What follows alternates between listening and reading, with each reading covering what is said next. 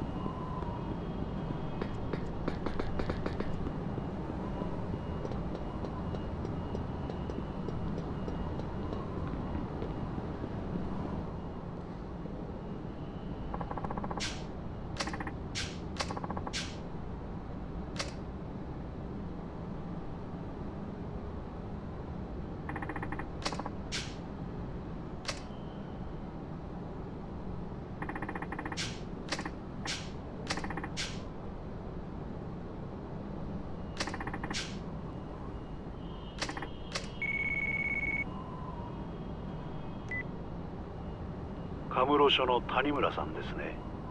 あ？取引。実は今警察にはまだ報告していない。なるほあんたが冴島康子を使って柴田組の連中を殺すよう命。もちろん。あんたはまだ冴島やそれで？俺は25年前の事件を追っている。もしかして息子さん？あんたが取引に応じてくれればどうだ？条件があります。条件？私としても刑事それに電話ではあなたあなたが冴島康子。分かった。1億ああ。あんたが安子さんが用意したものだ。俺に会うのはその金1億ですか。いいでしょ明日でどうだ？う構いません。カムロ町 一番人通りの多い場所と時間。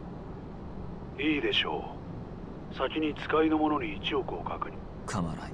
では